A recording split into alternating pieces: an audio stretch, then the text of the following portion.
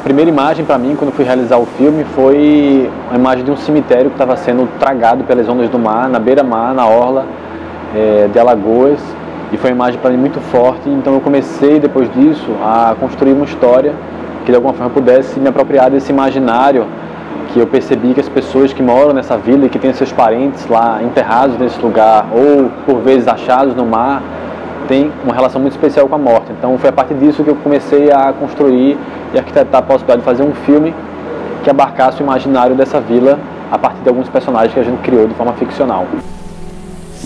A gente trabalha com dispositivos ficcionais, né? várias das situações que a gente está no filme, ela de alguma forma ela é escrita como cena, só que nem necessariamente todos os diálogos são escritos. Né? O senhor conhece alguém que tinha dente de ouro? Esse aqui eu conhecia. Conhece? Aqui quem morre vai nem para o céu nem para o inferno. É fumar.